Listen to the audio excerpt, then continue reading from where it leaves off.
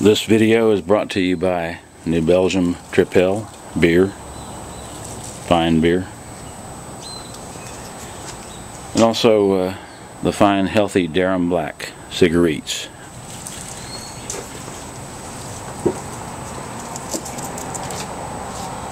Today we're throwing a Viking bearded axe. Nice axe here. Got about a 18 ounce head, 16 inch hickory handle. Let's take a throw and see what happens.